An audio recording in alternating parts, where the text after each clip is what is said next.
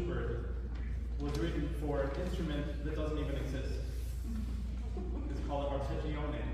And I don't know how many years it was, they made them and then they finished making them. Uh, and who played this instrument? It's, it's not really like a cello. It's more like a guitar cello or something that you, you use a bow, but uh, it has frets like a guitar, and it plays in a, it makes a very different kind of sound. It's a brighter type of sound, and the cellists we try to kind of imitate that arpeggione sonority as best we can. Violists also play this sonata, but it's a masterpiece, and we couldn't just let it disappear into oblivion.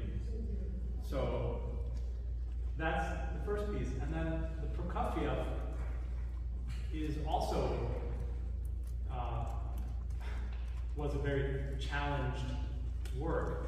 But that wasn't because of anything about the cello, but it was because of the country that it was written in. Uh, they were very uh, tough on artists.